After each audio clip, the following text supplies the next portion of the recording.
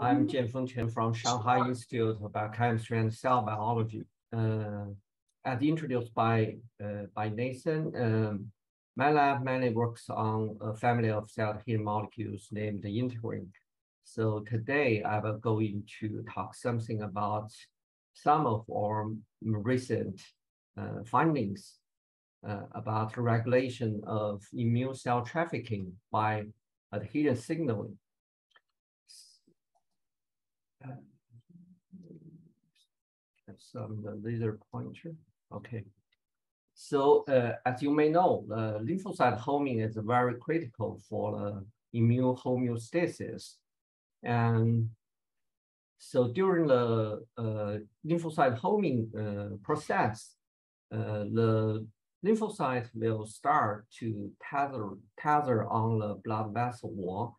Then they start to roll and when they receive some activation signal like chemokines, the chemokine will induce the activation of the integrins on the surface of the leukocytes.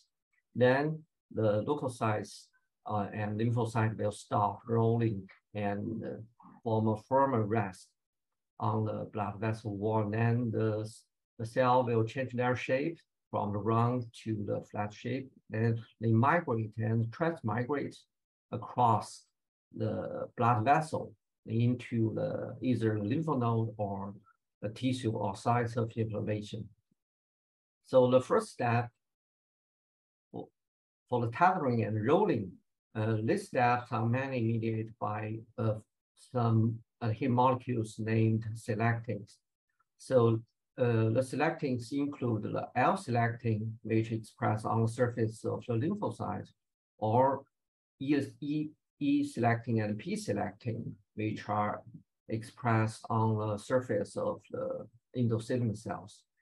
Um, in addition to selecting some integrin like the alpha-4 integrin, alpha-4 beta-7 and alpha-4 beta and they also can mediate the rolling of the lymphocyte, but the rolling speed is a little bit slower than the selectin mediated cell rolling.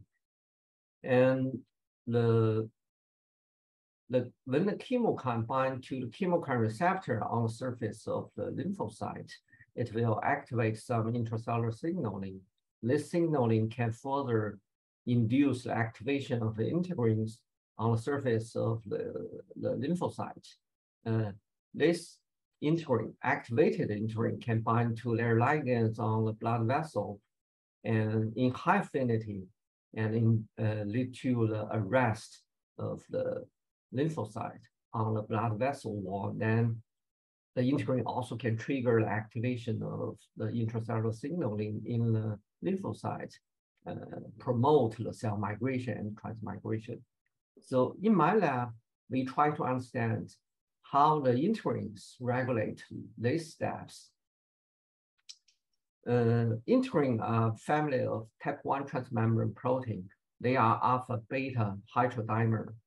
Uh, so in addition to mediate cell-cell, cell extracellular matrix and cell pathogen interactions, so this uh, uh, basic function of the cell cell adhesion molecule, the ligand binding actually can induce the uh, signal transduction uh, intracellular signal transduction, it will activate multiple different uh, intracellular pathways and participate in many uh, cellular functions like cell survival, control of transcription, cell proliferation, and cell mortality we are interested in, and the cytoskeletal organization. Uh, in vertebrates, uh, there are 24 different integrins. Uh, based on the, the ligands uh, this integrin binds, the, the integrin family can be divided into the RGD binding integrins, the collagen binding integrins, laminin binding integrins, and some integrin are specifically expressed on the leukocyte surface. We call it leukocyte integrins. That's uh, MATLAB are interested in. Uh, so this table uh, simply summarized two major types of leukocyte integrin. They are big two integrins. there's a four type of beta 2 integrins and alpha 4 integrins. So on the cell surface, if the cells did not receive any uh, stimuli, most of the integrin exist in this kind of low affinity closed conformation. When the cells are exposed to some uh, stimuli, this, this can be uh, many factors from the uh, cell microenvironment, uh, such as the uh, different metal ions, calcium, magnesium, reducing uh, for, some reducing some reducing agent like DTT or something like that, and some and also the mechanical force like a shear flow. And uh, another uh, uh, stimuli like chemokines when they bind to the chemical receptor on the surface of the, the cells, it can activate the intracellular signaling. Uh, some regulatory, pro regulatory protein like tailin and chitin, uh, this protein can bind to the short tail uh, integrin beta subunit and induce the uh, global conformational uh, change of integrin and it will change from this low affinity closed conformation to the high affinity open conformation, then the integrin can bind to their, their ligands in high affinity. We call it inside out signaling. So that means the, the signal from inside and going out and induce the uh, conformational change of the extracellular domains of integrin. And the integrin get uh, bind, uh, the ligand binding can further induce the conformational change of integrins. And also it can trigger the clustering of integrin on the plasma membrane. Uh, it will induce the activation of downstream signal that the phosphorylation FAC and ALK. And then it regulates the cell spreading, migration, cell survival, and so on. Uh, two important questions in leukocyte homing is uh, homing efficiency and tissue specificity. Today, I will talk about how fever regulates the homing efficiency of lymphocytes and the maintenance of tissue specificity by different chemokines. So fever is a very conserved response to infection and injury. I guess um, everyone uh, should have this uh, uh, experience. so even for cold blood animal like a lizard, when the lizard get infected by bacterial, this animal will take a sunbath to increase their body temperature. It is reported the increase of the body temperature is very critical for uh, the, the lizard to clear the bacterial infection. Uh, in 2010, there's a paper showing uh, in a mice with high temperature, body temperature, the lymphocyte homing efficiency in these mice was significant, significantly enhanced. So after that, there's only a couple of research uh, revealed some of the mechanism. One mechanism is uh, it seems the the uh, high temperature will improve the L-selectin dependent adhesion. So that means the rolling will be uh, promoted. The, uh, the L-selectin mediated lymphocyte rolling will be promoted. And also the high temperature will increase the chemokine expression CCL25, uh, 21 expression. So this uh, chemokine was mainly expressed by the, uh, the blood endothelium cells, blood vessel endothelium cells. And also uh, there's um, increased expression of the ICAM1 on the blood vessel wall. Uh, it's a ligand, major ligand for the alpha beta 2 integrin.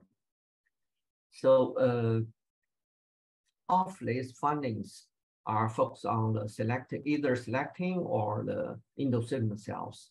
and either the chemokine or the integrin ligands. But how about integrins? Uh, can the temperature regulate, directly regulate the function of integrins, since these molecules are central uh, adherent molecules control the lymphocyte homing process. Uh, several years ago, we start to uh, ask this question and try to figure out uh, if the uh, high temperature can regulate function of the leukocyte integrins.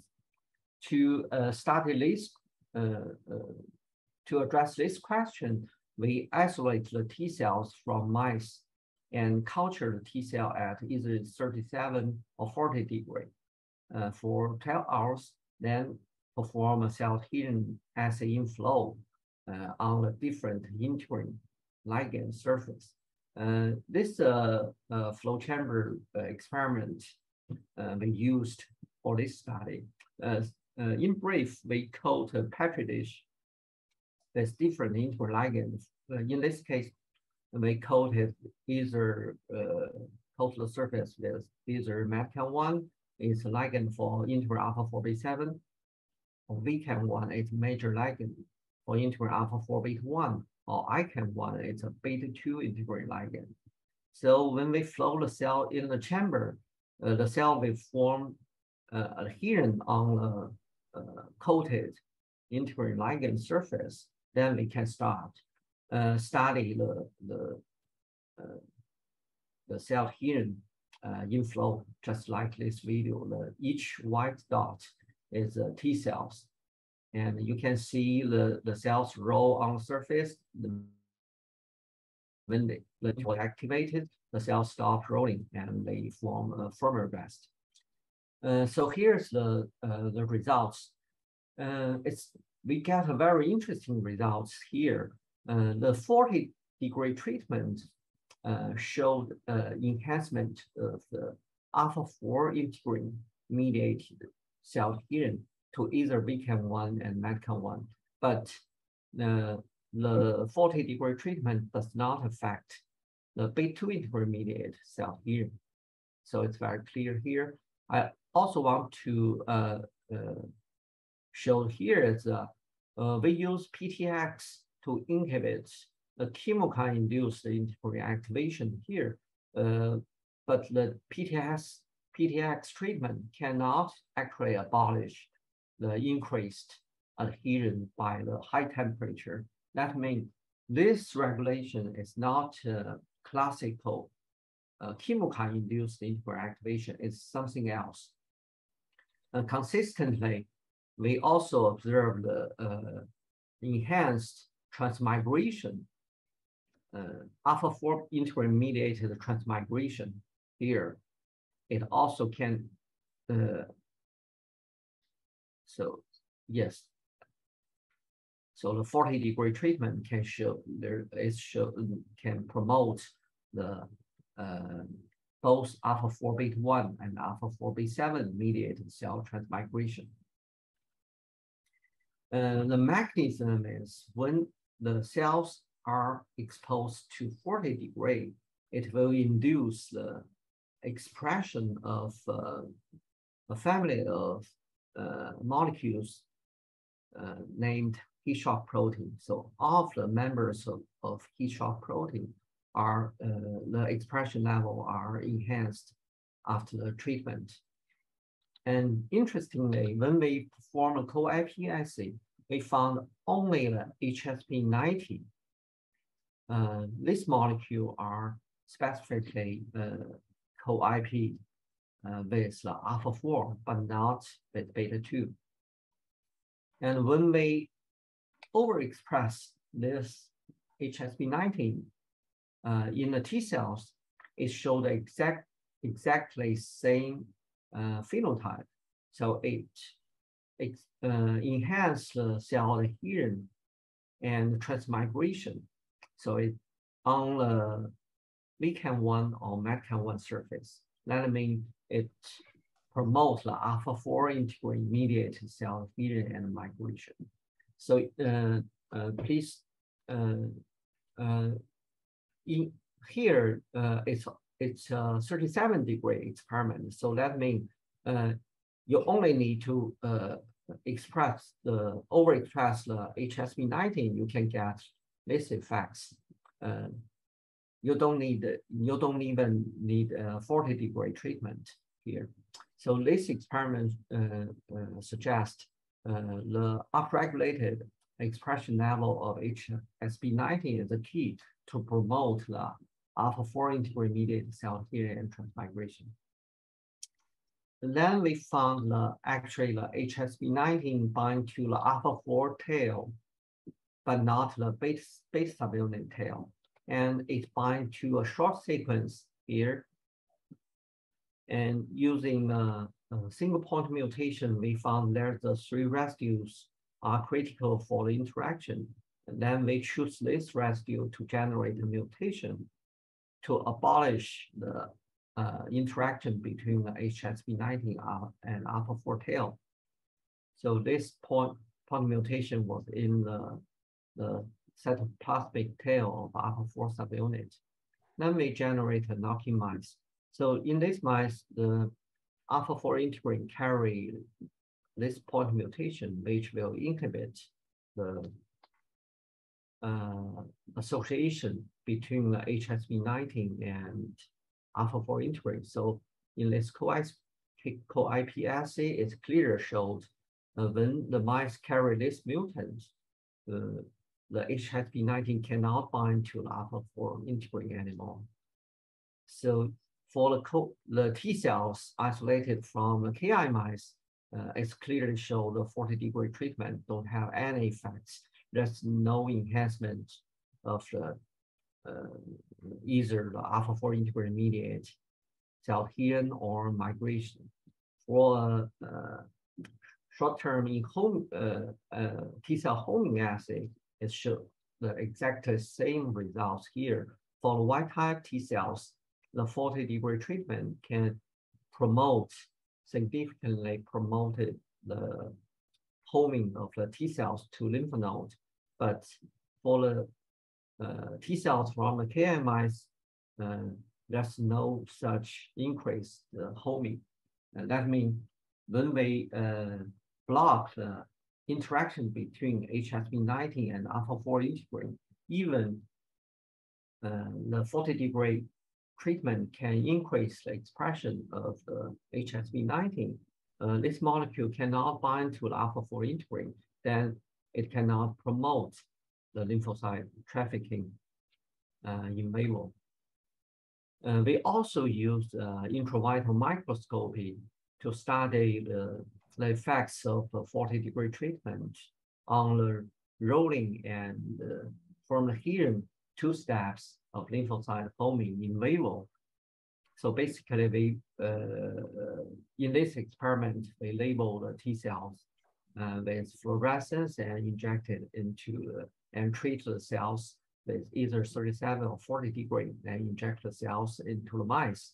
And we can monitor the, the cells rolling and from here in the HEV in the lymph node. And here the results show the 40 degree treatment for the wild type T cells. The 40 degree treatment can increase both the rolling and uh, uh, the former hidden steps of the lymphocyte during lymphocyte homing. And uh, for the KIT cells, this increased uh, rolling and from here are almost uh, inhibited, abolished by the, the single point mutation in the tail of alpha-4 subunit. So the, both the in vitro and the in vivo experiment uh, are consistent, uh, which show the HSP19 and alpha-4 uh, interaction uh, promote the rolling and the former rest of the lymphocyte during lymphocyte homing. Then what happened to the integrin after HSP19 binding?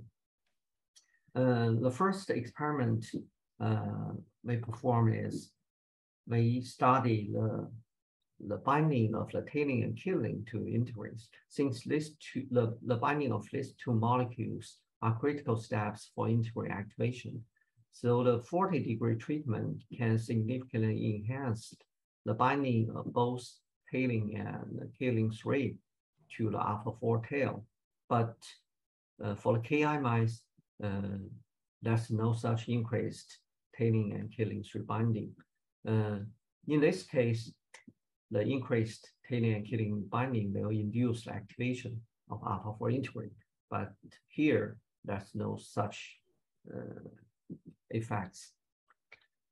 And uh, to confirm the, this uh, effects, we also establish a FRET assay. It's a, a intramolecule FRET.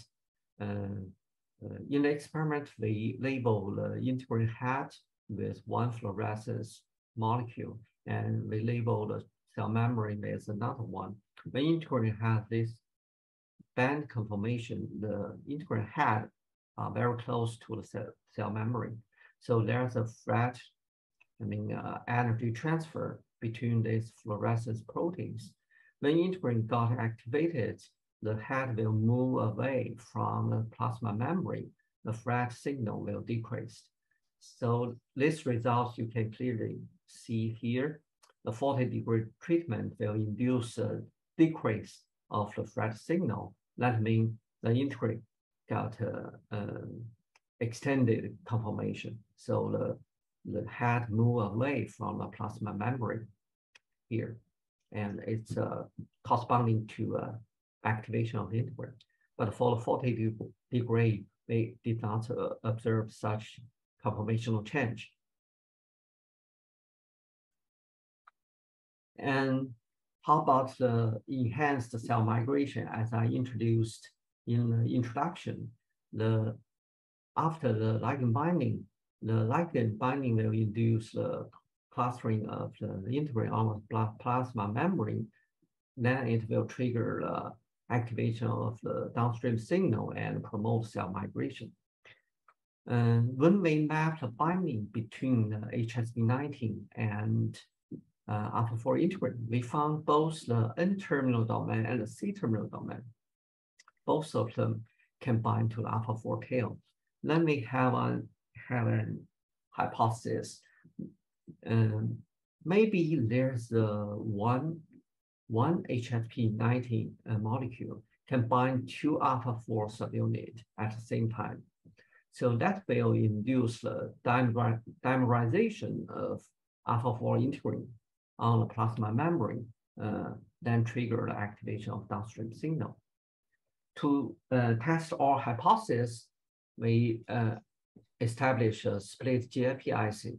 Uh, think, uh, it's uh, we uh, fused two part of GIP to the alpha 4 tails and co-express these molecules in the T cells. When integrin, uh, when two uh, alpha 4 integrin form dimer, it form a complete GIP. You will see a green signal on cell membrane. So at 37 degree, there's no GIP signal on the cell surface. That means there's no dimerization of alpha-4 integrin subunits on the cell surface. When we treat the cells with 40 degree, uh, there's a very beautiful GIP signal on the plasma mem membrane.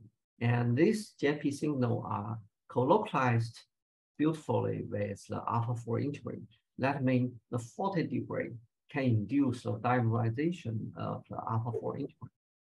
And for integrin have this point mutation which block the HSP19 and alpha-4 interaction, the 40 degree cannot induce the GIP signal. Then in the, the 40 degree cannot induce the dimerization of the alpha-4 if we block the HSP19 binding to alpha-4.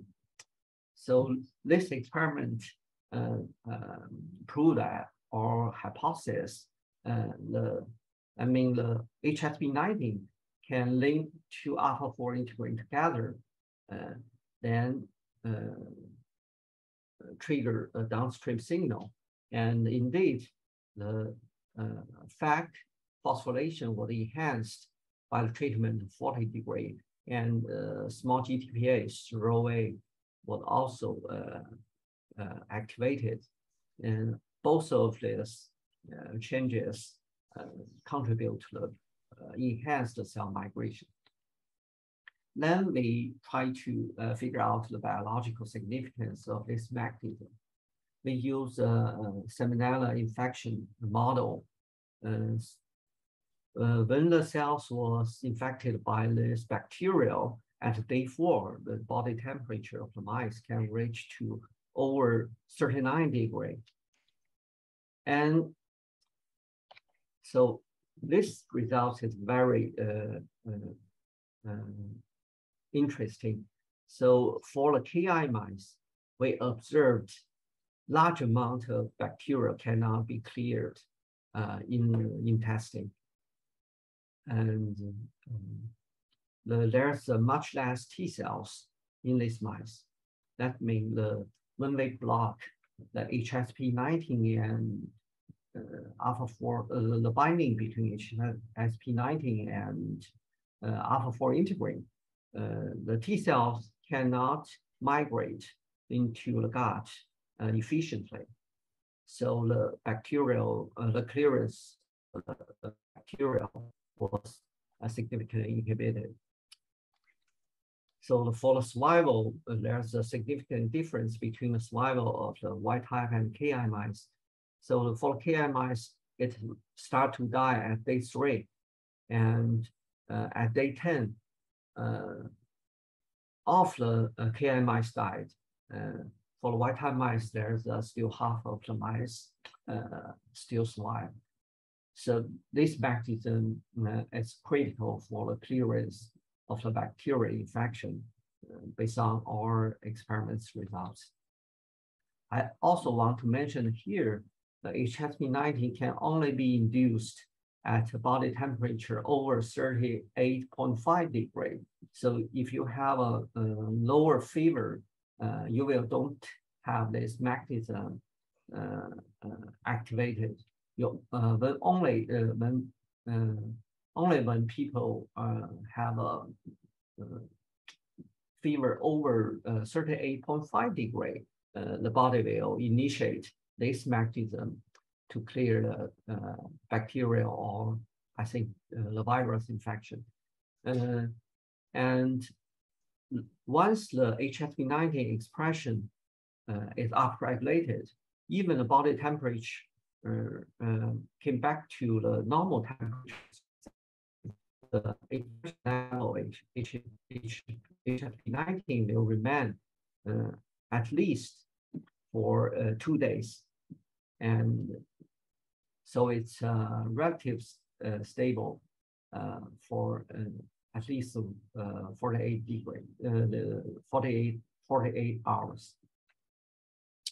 So for briefly summary, uh, the fever can induce the uh, expression of HSP19 uh, in most of the immune cells. And this HSP19 can induce the dimerization of alpha-4 integrin and activate the downstream signal then promote the lymphocyte trafficking. And so uh, not only the lymphocyte, uh, in this paper, we use uh, T cells, but all of the um, alpha-4 integrin expressing immune cells, including T cell, B cell, monocyte, macrophage, are uh, they think all of them are regulated by this mechanism. So it's a common mechanism for the immune cell trafficking. And so uh, this is the end of the first story. And uh, the second part of my talk, we will uh, briefly introduce T cell specific, uh, specificity regulation by different chemokines. So the feature of uh, leukocyte integrin is uh, one leukocyte integrin can recognize at least two different ligands. For example, the alpha 4b7 it can bind METCON1 and VCAN1.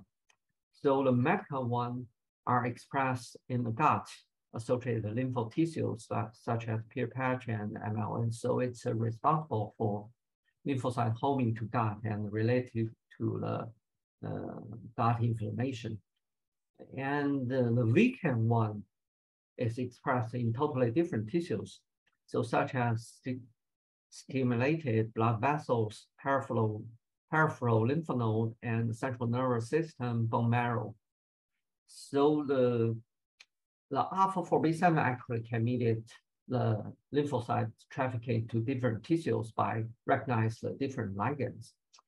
Uh, uh, years ago, we tried to start to uh, answer this question, how the integrin alpha 4 beta 7 select between different binding ligand to maintain the tissue specificity of lymphocyte homing. Uh, before all, uh, before this work, uh, most of the integrin people think once the integrin was activated for the alpha 4 beta 7 was activated by the manganese, it cannot recognize, distinguish the two ligands. So the adherence to both MAdCAM1 and VCAM1 is enhanced. There's uh, it's um, uh, similar enhanced uh, adhesion to the both ligand, either for T cell and B cells. When we treat the cells with CCL25, we found a very interesting result here. Uh, the cells showed enhanced adhesion to MAdCAM1, at the same time, it showed inhibited adhesion to the VCAM1.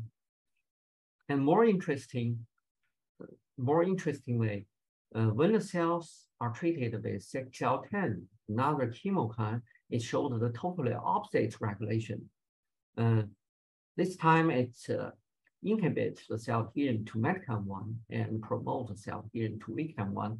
So we uh, termed this phenomenon as an integrin ligand specificity switch. Uh, the mechanism is uh, when the cell when the uh, two different chemokines bind to their chemokine receptors on the surface of lymphocytes, for CCL25, it activates the P38 and PKC. PKC and CXCL10, it activates the c-Src and Syk.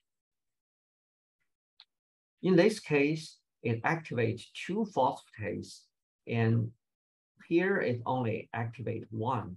That will in, induce the different dephosphorylation of the integrin tail. As a result, in this case, only talin bind to the tail of beta 7, and here, both talin and kindlin 3 binds. Then it triggers a different activation state of the integrin. Here it spec uh, uh, specifically bind to the MAdCAM1 and uh, this conformation it bind to the VCAM1. And after this study, we try to figure out what happened to the extracellular domain of the integrin since that study mainly focused on intracellular uh, uh, regulation mechanism. Uh, first, we use the atomic force microscopy. This work was uh, collaborated with uh, Frank Zhang at Lehigh University. Uh, briefly, we there's a left side its uh, T cells was labeled uh, as cantilever, the tip of the cantilever uh, of AFM. Uh, then the surface was coated with either MAdCAM1 or VCAM1. We can measure a single bond between integrin alpha 4 B7 and uh, two different uh, uh, integrin ligands, alpha 4 B7 ligand. So the results is here the untreated cells uh, are in black, the black line here. The, when the cells was treated with CX, CCL25 for the MAdCAM1 bond, uh, there's an increased binding force on uh, to the MAdCAM1, but to the VCAM1, the binding force decreased. And uh, for the CXCL10 treatment, it's opposite. For the MAdCAM1, uh, the binding force decreased and for the VCAM1, it's increased. And the manganese show the highest binding for both. So that means the, this, this experiment clearly showed uh, actually the regulation happened at a single molecule level. Each single molecule uh, has this opposite regulation on their binding affinity to different uh, integrin ligands. They also establish uh, flame-based uh, assay so we can monitor the conformational change of each uh, intermolecule in real time. Uh, this time, we, in, in addition to the tail, uh, the headpiece uh, fret, we also uh, add, add another included, uh, we also included another tail-based uh, fret assay. When integrin was activated, the tail separate, so the fret will decrease. Using this two uh, fret system, we can monitor the uh, conformational change of integrin molecule on the uh, sur cell surface of live cell. So this result is uh, consistent, actually consistent with the AFM re uh, results. Uh, this is untreated cell. When integrin was treated with uh, cell 10, it has a kind of activation. So it's it has an extended conformation, but not that extended. And the CCL25 treatment can induce further extension of this intermolecule, the intermolecule, and manganese treatment can you induce the highest maximal uh, extension of intermolecule. So that means the different chemokine actually it, it induces the uh, unique, uh, uh distinct uh, conformation of the active conformation of integrin alpha 4b7. So uh, uh, as a brief summary, uh, the resting integrin has this kind of resting state. It has a relatively low binding affinity to both VCAM1 and MAdCAM1. When integrin was activated by 6L10, it has this kind of uh, intermediate we, we call it intermediate uh, extended conformation. And now it has increased affinity to VCAM1, but it has a decreased affinity to VCAM1. That means this uh, binding is even lower than the resting states. And when integrin was activated by CXL, CCL25, it has more extended conformation.